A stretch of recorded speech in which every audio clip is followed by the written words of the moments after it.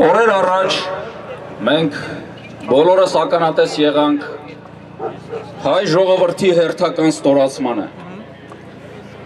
Հայաստանի Հանրապետության Ստեփանակերտ քաղաքում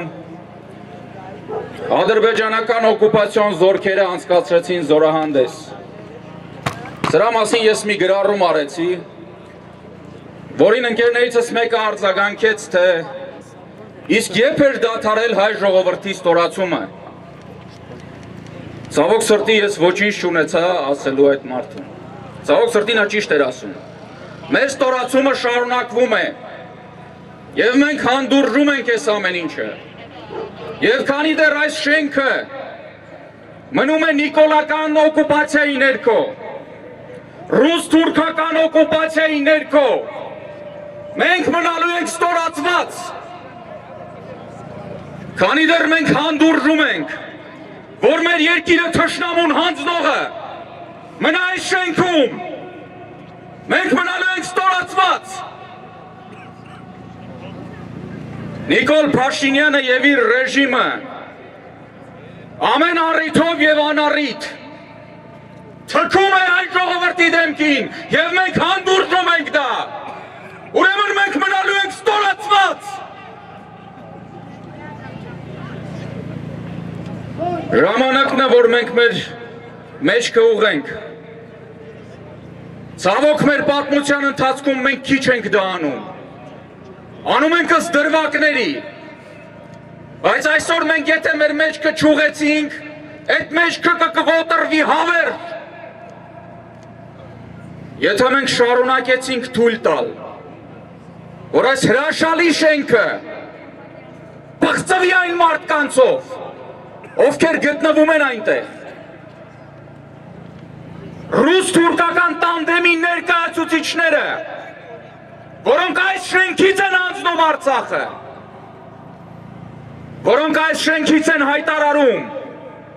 որ Հայաստանի Հանրապետության տարածքները պատկանում են Ադրբեջանին, որոնք այս շենքից են հայտարարում, որ Հայաստանը իր իրավունքը չի պաշտպանելու, որոնք այս շենքից հայտարարում են, որ Հայաստանի քաղաքացիները կամ կընդունեն փախստականի անձնագիր, կամ պիտի հրաժարվեն իրենց անձնագրից եւ նորից վերցնեն ՀՀ քաղաքացու անձնագիր։ Եվ այս ամենի նպատակն է փակել Արցախի հարցը, փակել հայկական Արցախի հարցը եւ մենք այս ամեն ինչը հանդուրժում ենք։ Ուրեմն ընկերս ճիշտ էր։ Մենք մնում ենք ստորացված։ Բայց մենք չենք կրելու այս ստորացումը հավերժ։ Պետք է ապստամբել։ Պետք է ապստամբել։ Եվ ապստամբությունը դա միայն արժանապատվության հարց չէ։ Ապստամբությունը միայն ստորացումից դուրս գալու հարց չէ։ Մենք այսօր տեսնում ենք, որ այս իշխանությունները հանձնում են ամեն բան եւ պատրաստ են հանձնել մեր պետականությունը եւ դառնալ գուբերնատոր կամ վիլայեթի ղեկավար։ Մենք ժողովուրդ ենք, որ շատ լավ գիտենք ազատություն կամ մահ արտահայտության իմաստը Եվ այդ արտահայտությունն էր, որ ազատեց Արցախը։ Այդ արտահայտությունն էր, որ բոլորիս տարավանդ վզման չհանդուրժել Արցախը հայության թուրքական լծի տակ ապրելը։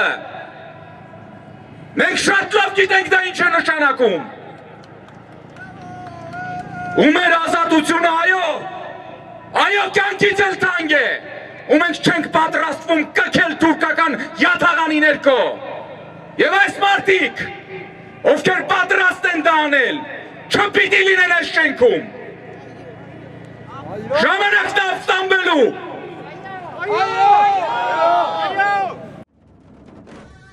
Բաժանորդագրվեք ազգային ժողովրդավարական բևեռի YouTube-յան ալիքին։